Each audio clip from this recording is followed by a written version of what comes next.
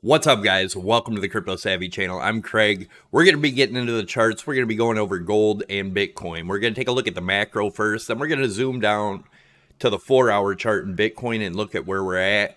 If you got if you watched yesterday's video, you'll see what's playing out, but we're going to go over that four hour chart. So definitely stick around for that so we can figure out what our next move is. If that sounds good to you, make sure you guys smash that thumbs up.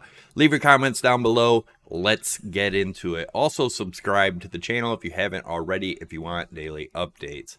So, gold in the macro looks like a huge wave one, two, three, four, and five. This is the weekly chart.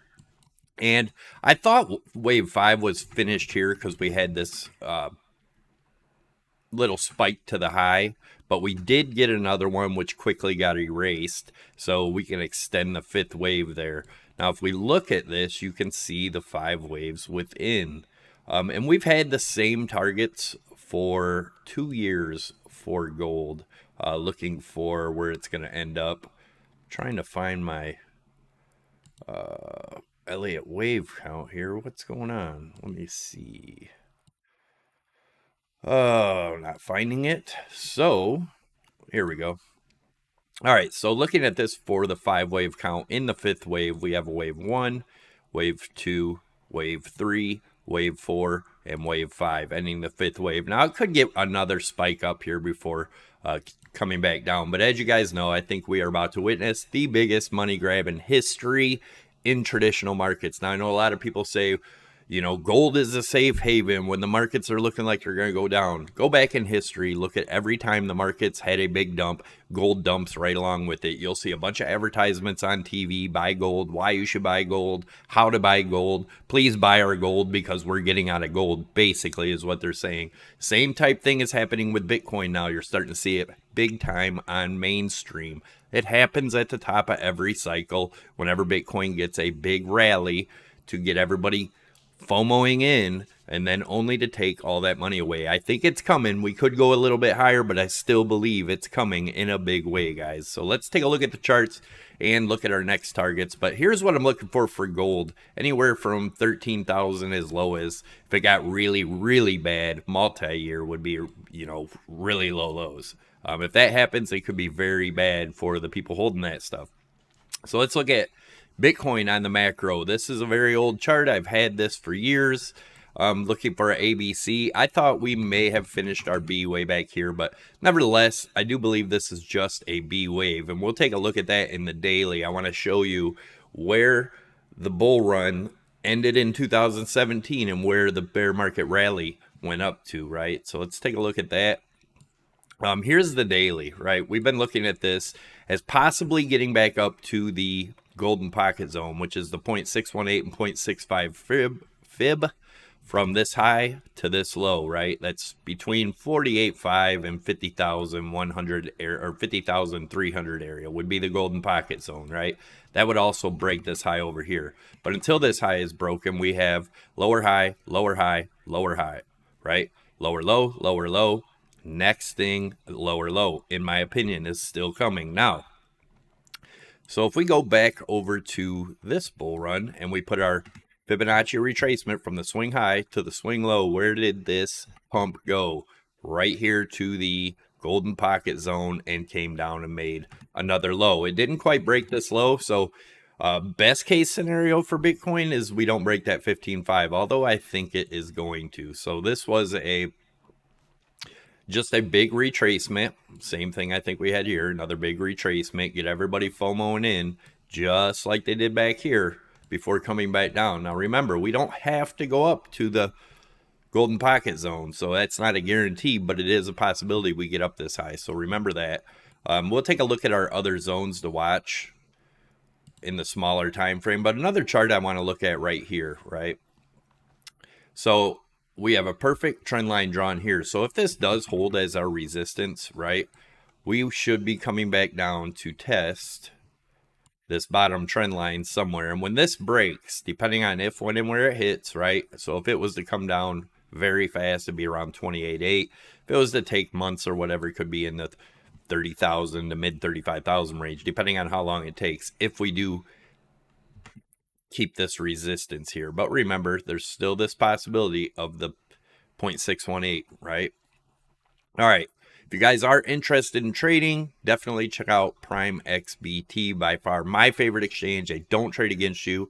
They have different sections. You can trade uh, regular gold, silver, oil, S&P, Dow Jones using your Bitcoin. So you can trade Bitcoin against traditional markets if you'd like, or you can just do like the traditional um, crypto trading on there also. So definitely check them out. You can use my link down below and get up to a $7,000 bonus and 25% off of your fees by using my link. So definitely check it out. Let's get into it. They do sponsor the channel, guys, so it does support the channel by you using that. But let's look at where we're at. So we talked about this yesterday on the four hour, right? So once we broke here, we said that gave us the possibility of the measured move, right? Is just you you measure the distance from the widest point of the wedge where it broke. That gets us up to that 48, 3, 48, 5, 49, right in that range, right? If that plays out. Now we talked about it yesterday. Watch for watch my video yesterday. I said if you were looking for a long, once this hit, re, you got a successful retest, good spot for a small long and see what happens. Because I said Watch and see what forms here. It does look like we're making a falling wedge, which could be bullish unless we break this 40, 43,000 range, 42.9, I would say. If we break that and this becomes resistance, then we're heading back down to this lower level, right? Which would be an awesome short. How would you do that? Well, if we break down here, you would put a short in and put your stops just above. A lot of people don't understand using stops, right? They think everyone gets wrecked if they uh, lose a trade. Well, if you're trading properly and you get in at a proper spot, like say you shorted here and you moved your stops into break even or a little bit of profit, even if it shot up, you still make money or at least break even. So make sure you guys use stop losses. There's a lot of people that have no idea what trading is, what it and those are the ones in the comments saying, you got wrecked, blah, blah, blah. When really, even though I was shorting all last year, right? I shorted a lot of the peaks. I made a lot of money still, even though the market went up, right? Until you understand that, uh, those are the people in the comments down below that really don't understand trading at all whatsoever. They're probably broke. They're probably playing with a couple hundred bucks. Um, so, anyways, I just wanted to get that off my chest real quick. But check this out. So, if we are able to break above, let's say we break this high here at 43.9, what would your targets be? Well, first of all, you would take the measured move of the wedge itself, right? And that would get you up to approximately 45.2, somewhere in that range. And then there's another measured move. You go from the break right here, right? The break of this trend. Go up to the top. What would that one get you? So your your targets would be 45.3 or 45.2 to be safe, up to 46.9, right? If that was to happen, then you would look for another retrace back down to here. Once this bottom trend line breaks, I think this whole up move is over. So once we break this 42.9, 43,000, 42.9 area, and that becomes resistance, I think we are on our way down in a big way still. Gonna get a lot of hate in the comments, guys. I heard you guys, the same people putting the hates in the comments when I called the 64 top when we were at 59. And then I called the 69 top a little afterwards when I showed the bubble pop theory, which I think is still happening.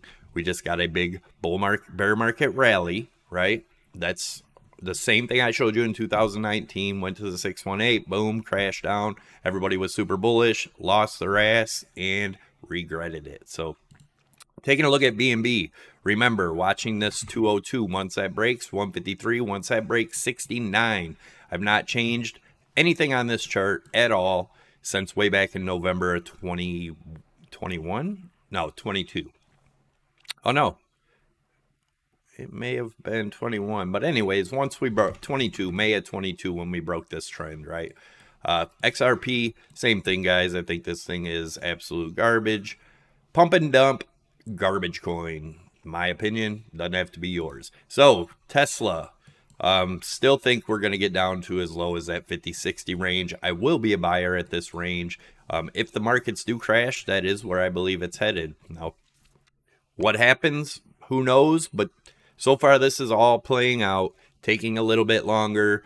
The bear market rallies went a little bit higher, but all in all, in an investment point of view, there are there is an opportunity of a lifetime coming and it's not buying at these highs. So be careful out there, guys. Thanks a lot. Remember, none of this is financial advice. My opinion doesn't have to be yours. And uh, have an awesome day. I'll see you in the next video. Don't forget, smash that thumbs up, leave your comment.